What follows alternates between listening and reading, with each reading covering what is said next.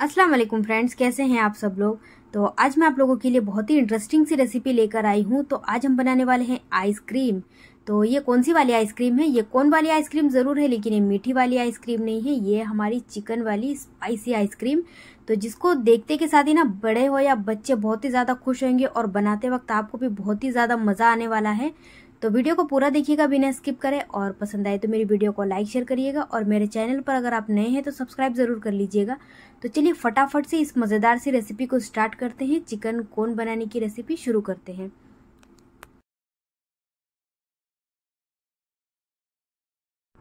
तो यहाँ पर स्पाइसी चिकन कोन बनाने के लिए मैं यहाँ पर मैदा ले रही हूँ। तो सबसे पहले मैदे को गूंद कर लेना है हमें। डेढ़ कप मैदा है, इसमें डालेंगे थोड़ा सा नमक और थोड़ा सा ऑयल डालेंगे एक चम्मच जितना। इन सभी को अच्छी तरीके से मिक्स कर लेंगे और उसके बाद थोड़ा थोड़ा पानी डालकर इसका कड़क सा आटा लगा कर ले लेंगे। तो इसके डो को हमें बहुत ज़्यादा नरम नहीं करना है। इसके लिए आप थोड़ा थोड़ा पानी डालकर आटे को लगाएँ। तो ये देखिए कड़क सा आटा भी लग गया हमारा। इसके डो को हम ढाक कर रख देंगे दस से पंद्रह मिनट के लिए। तो जब तक कि हमारा आटा जो थोड़ा सा सॉफ्ट हो जाएगा, और अब यहाँ पर इसके अंदर की फिलिंग बनाने की तैयारी कर लेते हैं। यहाँ पर मैंने एक पैन में तेल गरम कर ली हूँ, इसमें डालेंगे अदरक, लहसुन और हरी मिर्चें। साथ में मैंने इन तीनों को दरदरा सा कूट ली हूँ। आप चाहे तो मिक्सर ग्राइंडर में डालकर भी इसको दरदरा सा पीस सकते हैं। अदरक, लहसुन का कच्चापन ख़त्म होने तक के इसको भून लेना है, और उसके बाद हम इसमें वेजिटेबल्स ऐड करेंगे। यहाँ पर है बारीक कटी हुई प्याज है तो प्याज मैंने बिल्कुल थोड़ा सा डाल रही हूँ इसमें। और पत्ता गोभी है और एक शिमला मिर्च है छोटी साइज़ की, इसको भी मैंने बारीक बारीक स्लाइस कर ली हूँ। आपको यहाँ पर जो भी वेजिटेबल्स पसंद है, आप यहाँ पर डाल सकते हैं इसमें। तो बस अब साथ ही में इसमें चिकन भी डाल देंगे हम। तो मैं देखिए यहाँ पर छोटे छोटे पीसेस ले रही हूँ चिकन के। इसके लिए मैं वेजिटेबल और चिकन साथ में फ्राई कर रही हूँ। आप अगर चिकन के पीस थोड़े बड़े ले रहे हो ना तो आप पहले चिकन को फ्राई कर ले, उसके बाद वेजिटेबल्स इसमें ऐड करें। तो ये बोनलेस चिकन है और ये बहुत फटाफट से गल जाएगा, इसके लिए मैं साथ में ही सब कुछ डाल रही हूँ। आप चाहे तो पहले चिकन को फ्राई कर सकते हैं। तो अब इन सभी को हम दो से तीन मिनट तक अच्छी तरीके से भून लेंगे, जिससे कि चिकन का जो कच्चापन ख़त्म हो जाए स्मेल वगैरह। तो लगातार हाई फ्लेम में आप दो से तीन मिनट इसको पका लें अच्छी तरीके से।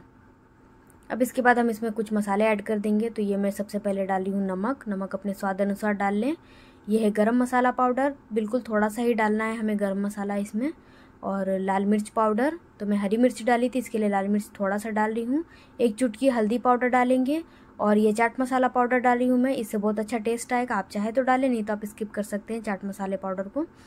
और इसके बाद मैं डाल रही हूँ इसमें एक चम्मच सोया सॉस है। और ये काली मिर्च का पाउडर है। इन सभी को डालकर हमें तेज़ आँच में इसको पका लेना है। लगातार हिलाते हुए दो से तीन मिनट फिर से हम मसालों को भी पका लेंगे। तो बस अब ढक्कन लगा लेंगे इसमें और चिकन को थोड़ा सा सॉफ्ट होने तक के पका लेंगे। तो बस पाँच मिनट हम इसको इस तरीके से ढक्कन लगाकर छोड़ेंगे और उसके बाद हमारा चिकन बहुत अच्छे से सॉफ्ट हो गया होगा, क्योंकि चिकन के पीस जो है ना बहुत ही छोटे छोटे हैं, बहुत जल्दी गल जाता है। तो ढक्कन हटाने के बाद इसको दो मिनट तक के हाई फ्लेम में भून लेंगे, जिससे कि इसका जो भी पानी वगैरह होगा ना थोड़ा बहुत, वो सारा सूख जाए। तो इसके लिए हम इसको दो मिनट तक के इसको पका लेंगे हाई फ्लेम में। बस ये चिकन हमारा रेडी हो गया है, गैस की फ्लेम को बंद कर देते हैं और इसको थोड़ा सा ठंडा होने का इंतज़ार करते हैं। तो जैसे ये थोड़ा सा ठंडा हो जाएगा, हम एक बाउल के अंदर इसको ट्रांसफ़र कर लेंगे। तो अब इसको और भी मज़ेदार बनाने के लिए हम कुछ और भी ऐड करेंगे इसमें। तो ये हमारा स्पाइसी चिकन कौन है। बिल्कुल मलाईदार बनाने के लिए मैं इसमें डाल रही हूँ चीज़ तो ये एक चीज़ क्यूब है। इसको मैंने छोटे छोटे टुकड़ों में काट ली हूँ इस तरीके से और जब ये हमारा चिकन हल्का सा ठंडा हो जाएगा ना, उसके बाद ही हम मेयोनीस और चीज़ को इसमें ऐड करेंगे। तो ये मेयोनीस से एक बड़ा चम्मच ले लेंगे, इसको डाल देंगे अच्छी तरीके से मिक्स कर लेंगे सभी को। आप चाहे तो इसमें स्मोकी फ्लेवर देना चाहते तो दे सकते हैं, कोयले का धुआँ दे सकते हैं आप इसमें, लेकिन मैं नहीं दे रही हूँ। और अब इसका बैटर बना लेते हैं तो जो कौन को हमें डिप करना है इसके अंदर तो मैं यहाँ पर मैदा ले रही हूँ, एक बड़ा चम्मच। इसमें थोड़ा सा पानी डालकर हमें इसका गाढ़ा सा घोल बना कर लेना है। तो इस बैटर को ना बहुत ज़्यादा पतला नहीं करना है, इसके लिए आप थोड़ा थोड़ा पानी डालकर लम्स फ्री बैटर बनाकर ले लें इसका। क्योंकि अगर बहुत ज़्यादा पतला हो जाएगा ना ये बैटर हमारा तो ये जो हमारा कोन डिप करेंगे ना तो अच्छी तरीके से इसमें कोट नहीं हो पाएगा।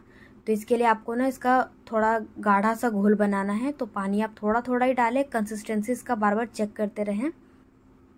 तो देखिए, मैं जिस तरीके से थोड़ा थोड़ा पानी ऐड करके इसका गाढ़ा सा घोल बना ली हूँ, बस इसी कंसिस्टेंसी में हमें चाहिए इसका। और इसमें थोड़ा सा नमक भी डाल देती हूँ मैं, थोड़ा सा अच्छा टेस्ट आ जाएगा।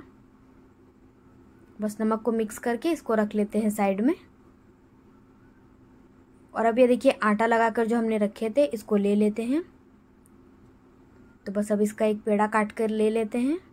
तो फटाफट से चलिए, इसकी जो हम शीट बना कर ले लेते हैं। तो देखिए, मैं पेड़ा काट कर ली हूँ और इस तरीके से आटा स्प्रिंकल करेंगे और इसका रोटी जैसा हम बेलते हैं, उस तरीके से रोटी बेल सकते हैं। तो आप चाहे तो इसको सिंगल सिंगल रोटी भी बना कर ले सकते हैं। तो मैं यहाँ पर जिस तरीके से हम शीट बनाते हैं ना, समोसे की पट्टी, उस तरीके से मैं बना रही हूँ। तो देखिए, तीन मैंने एक ही साइज़ के शीट बना ली हूँ। मतलब रोटी बेल ली हूँ छोटे से, और उसके ऊपर ऑयल ग्रीस कर लेंगे, और उसके ऊपर से थोड़ा सा आटा स्प्रिंकल कर लेंगे मैदा, और एक के ऊपर एक को इस तरीके से रख लेंगे। तो एक बार में मैं तीन बना रही हूँ। तो ऊपर वाले जो लेयर है ना, उसमें हम ऑयल नहीं लगाएँगे, सिर्फ़ आटा लगाएँगे इस तरीके से। और अब इसकी पतली सी रोटी बेल कर ले लेंगे। तो जब हम सिंगल सिंगल इस तरीके से बनाते हैं ना रोटी तो उतनी पतली शीट नहीं बन पाती है, और क्रिस्पी भी नहीं हो पाती है उतनी।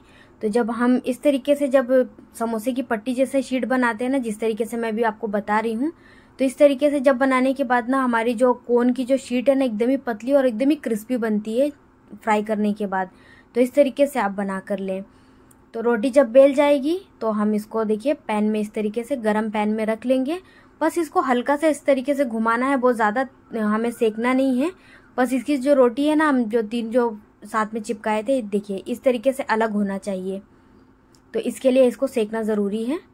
तो बस हल्का सा ही सेकना है आपको, और बहुत आराम से ये निकल जाती है, पट्टी जो हमारी रहती है।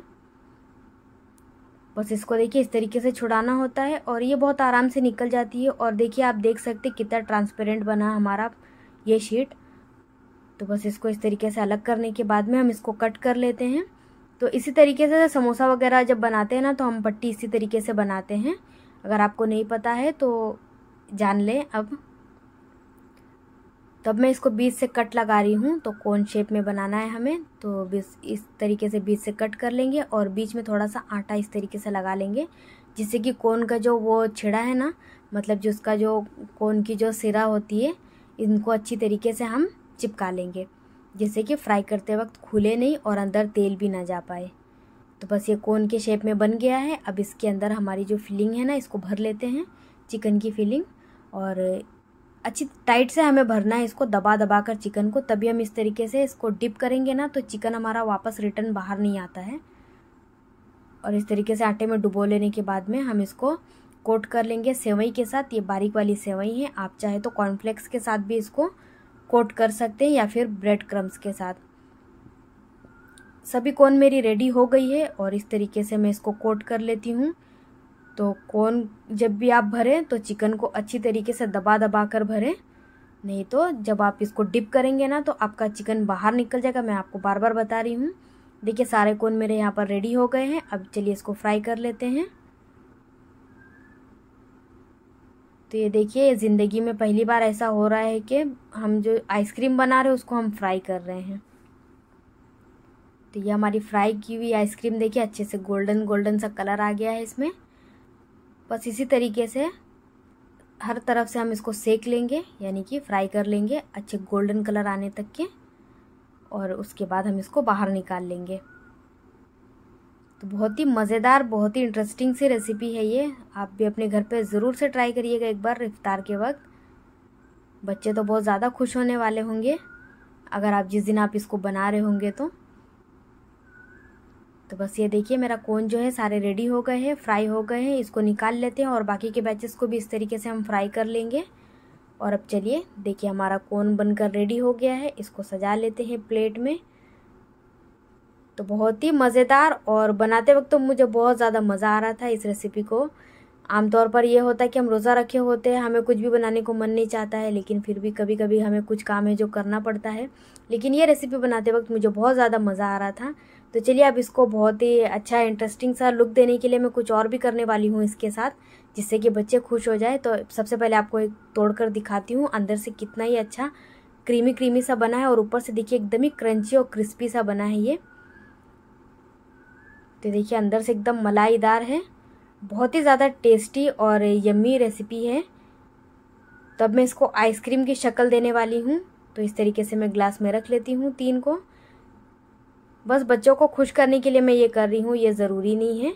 तो मैं बस खाली आपको एक डेकोरेशन बता रही हूँ इसकी। बस इसके ऊपर हम थोड़ी सी मेयोनीस के साथ इसको कोट कर लेंगे इस तरीके से। तो बस हल्की सी मेयोनीस लगा ली हूँ मैं और इसके ऊपर टिप लगा देंगे। ये है केचप, टमाटर केचप। तो देखिए, बिल्कुल आइसक्रीम की तरह ही दिख रही है ना। तो उम्मीद करती हूँ आज की रेसिपी आपको पसंद आई होगी। पसंद आई हो तो लाइक, शेयर करें और मेरे चैनल पर नहीं तो सब्सक्राइब ज़रूर करिएगा। बेल नोटिफिकेशन ऑल पर भी क्लिक कर दिए जिससे मेरी आने वाली हर नई वीडियो की नोटिफिकेशन आपको मिलती रहे। तो मैं मिलती हूँ आपसे नेक्स्ट वीडियो में और एक मज़ेदार सी रेसिपी के साथ। जब तक अपना ख्याल रखिए।